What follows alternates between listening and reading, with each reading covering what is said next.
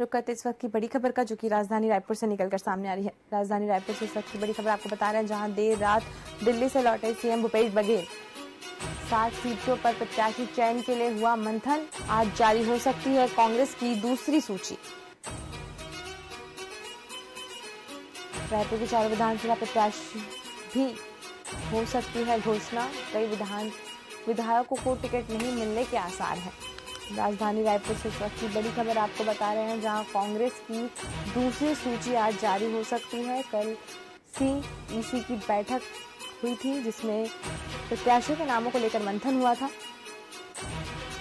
इसमें सात सीटों पर प्रत्याशी चयन के लिए मंथन किया गया था।